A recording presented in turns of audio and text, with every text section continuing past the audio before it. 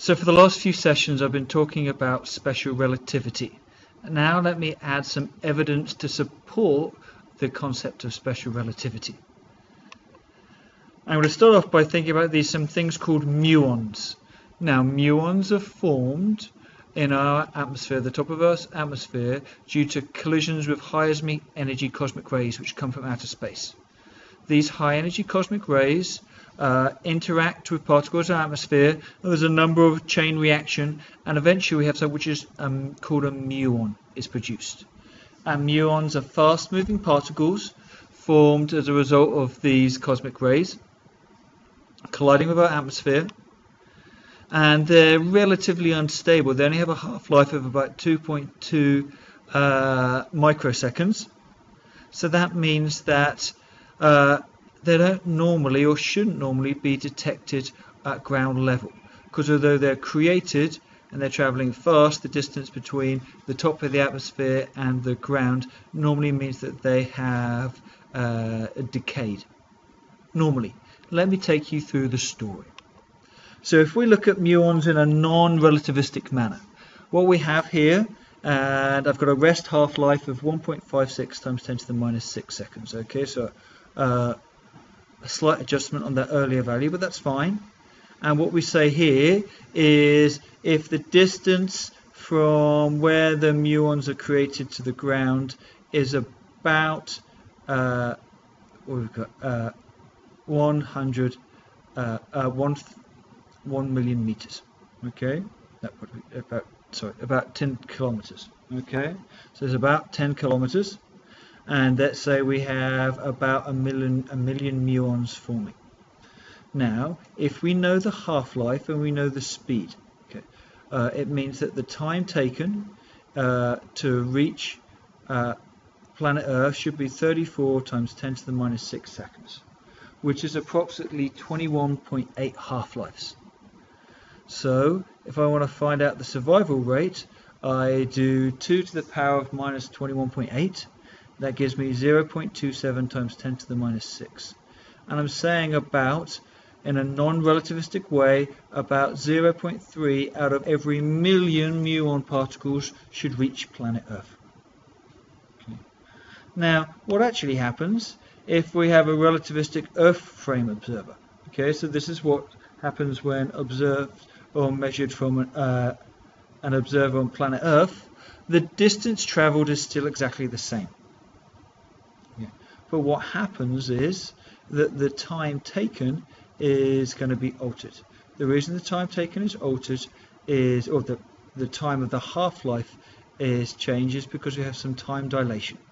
Time dilation because of them traveling close to the speed of light means that now it takes 7.8 microseconds uh, is equal to one half-life. So this is the relativistic Earth frame observer viewpoint. So that means if that's the case, then the time it takes to uh, reach planet Earth actually only takes up 4.36 half-lives. And that means my survival rate is 2 to the power minus 4.36. And that means I get 49,000 out of a million uh, muons created reach the ground. And this is something which is observ observable and is actually happening. Uh, let's consider this from a different frame of reference here. So clearly, uh, the fact that we are observing muons on ground indicates some evidence that special relativity is uh, acting and time dilation is taking place. Uh, we can have some further proof though. If we think about this from the muon frame of reference. Now in this case, what happens is that the rest half-life is still exactly the same, 1.56. What changes now is we see length contraction. So the muon, rather than seeing traveling uh, 10 kilometers, length contraction means it only appears to be about 2,000 meters. So in this case, 2,000 meters uh, gives us uh, 6.8 times 10 to the minus 6 uh, seconds, which is 4.36 half-lives. So here the survival rate is also about 49,000 out of every million muons reaches the ground.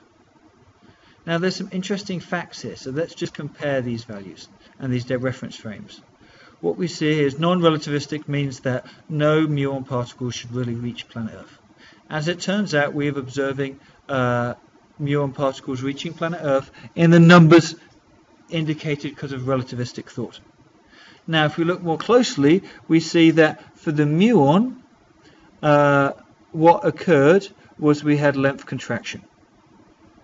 From the ground observer, we had time dilation. For both of these, there was a symmetry, and it meant that the amount of half-lives which take place and the number of surviving muons is exactly the same. So that comparison shows it doesn't matter from which perspective you're looking at, which frame of reference, we will still get the expected, uh, the now expected relativistic results, and they are identical. So there's one special relativity proof. Uh, there's also the Michelson uh, Morley experiment, which is one of the uh, seems one of the great experiments in the world, although it didn't really find out what it had originally intended to. Uh, it was originally designed to measure the speed of the ether. Now, the ether was this idea of the medium in which light was assumed to travel with respect to the Earth. They thought there was maybe this cloud of ether and it was clinging to the planet Earth, but what it did is rotated with planet Earth. And if you could uh, work out or compare different speeds of light compared to moving through the ether and moving against the ether, then you should be able to work out the relative reference speed of the ether overall. How this was done. They had some light and the light struck a mirror which let some half the light go straight through and half the light uh, reflect uh, along what's known as arm 1. Okay. Uh, arm 1 is one route and arm 2 is the other route. Both of these have the same distance, although as arranged, so arm 2 would have light travelling into the ether wind, so therefore it was thought it would have an impact on the speed of light. Then the light uh, hits the two-way mirror again, and this time the light from either arm comes together, and it was thought that they would be out of sync, and therefore you'd be able to identify some sort of interference. So what we have here is we use what's known as the Michelson interferometer. Arm 2, I said, is aligned with the direction of the Earth's motion through space, and that was thought to be the direction of the motion of the ether. And then uh, it was hoped there'd be an interference pattern observed uh, with the interferometer when it was rotated to 90 degrees. So that means we have uh, light travelling at 90 degrees to the ether wind, so therefore wouldn't have been affected. Uh, the effect was going to be small, but it was thought there could be some measurable shifts in the fringe pattern. As it turned out, this great experiment showed that there was no change in the fringe pattern at all. So if there was no change in the fringe pattern, it indicated that, as we now understood, uh, electromagnetic waves don't require a medium for propagation, and therefore the speed uh, was constant so the laws of electricity and magnetism are the same in all inertial frames of reference.